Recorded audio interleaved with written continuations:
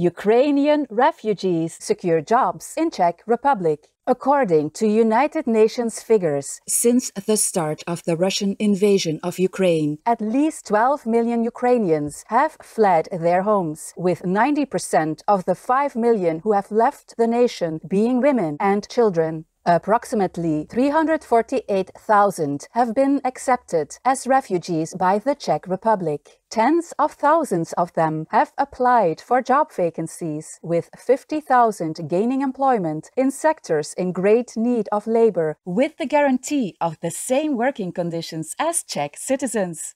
Furthermore, in March 2022, the Czech Republic's Senate passed a bill offering special humanitarian benefits to the refugees. Thank you, Czech Republic, for welcoming the displaced Ukrainians and allowing them to work and live with dignity. May God's blessings be showered upon the lovely people of Ukraine, and may they soon be able to return to their beloved home country.